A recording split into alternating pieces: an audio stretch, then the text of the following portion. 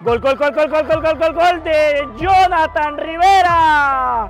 El Cosi que pone el segundo tanto, Manuel. Jonathan Josué Rivera Rosales, de 26 años, es un futbolista profesional del Brasilia de tercera división y fue arrestado el pasado 13 de enero. Según su madre, Ana Isabel Rosales, todo ocurrió mientras el joven entregaba desayunos en el mercado municipal de Suchitoto, donde ella tiene un comedor desde hace 28 años. Yo andaba pagando un recibo de luz acá a la oficina de a la aquí al banco de Acaproduzca y cuando yo venía de regreso me dice una señora, me dice, este, Charlie, Jonathan, ¿cómo está? Yo le dije, bien, porque yo no sabía lo que había pasado. Bien, le dije yo, ¿por qué? Le digo yo, no, porque mire, me digo, se lo acaban de llevar los policías. De verdad, le digo yo, sí, me dijo él. Ay, no, entonces yo en ese momento yo venía de comprar también. Yo no sentía a qué hora subí.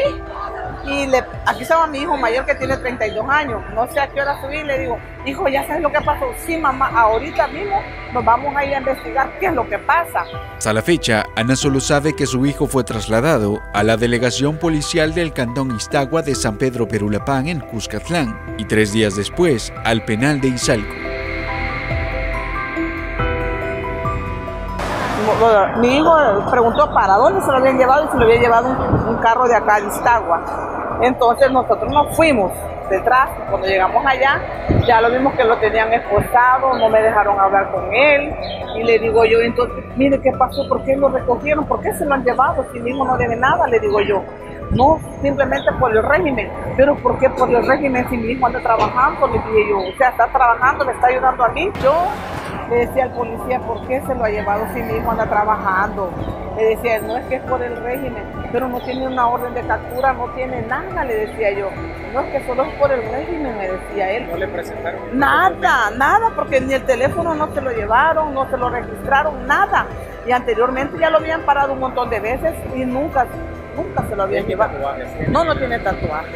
La esposa de Jonathan, Silvia Guadalupe López, dice que el joven es acusado de agrupaciones ilícitas y tras la primera audiencia le decretaron instrucción formal con detención.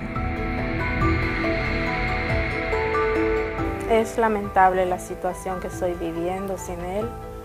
Es muy injusto, la verdad, porque él es inocente. De lo que lo acusan, ¿verdad?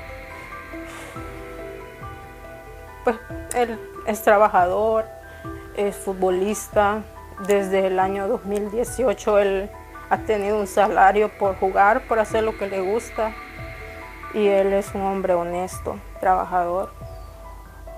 Y pedir, ¿verdad?, por la libertad de él, porque es inocente.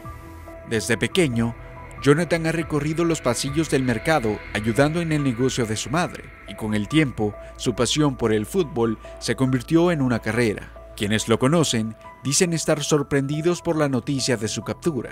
Siempre le ha ayudado a su mamá y como siempre decimos, pues no es lícito que pague justo por pecador, que investigue bien las personas.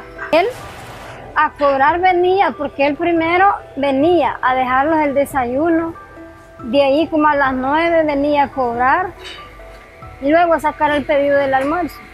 Los familiares y conocidos de Jonathan piden a las autoridades que se investigue y se esclarezca su caso para comprobar su inocencia. Entonces para el equipo de casa 1 por 0.